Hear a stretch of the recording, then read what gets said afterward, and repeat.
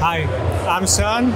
I'm from Zalando, and I'm here to see what's going on in the marketplace space in Europe and what I'm interested in making connections, seeing what's going on in the market, and um, yeah, hopefully I'll, I'll engage in some interesting conversations here.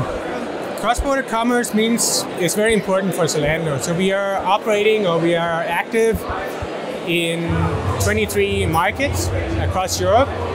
So obviously that also means that we are we're trying to engage and reach our customers in all of these markets. So cross-border commerce is extremely relevant for us.